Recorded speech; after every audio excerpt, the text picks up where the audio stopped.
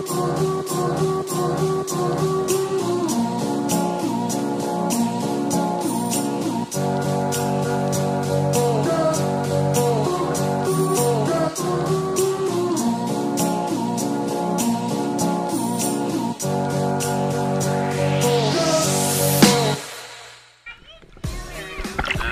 here in Ocala. We got some New York Giant fans here.